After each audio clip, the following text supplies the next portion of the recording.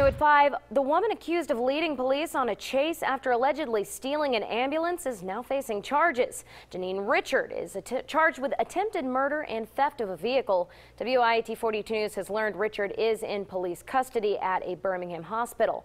According to police, Richard was loaded into the ambulance at the Birmingham Shuttlesworth International Airport on Saturday.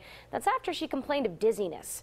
During the, the, during the ride to the hospital, Richard allegedly fired three shots inside the ambulance, then took it over and drove it around to the Legion Field area. The emergency workers were luckily not seriously hurt.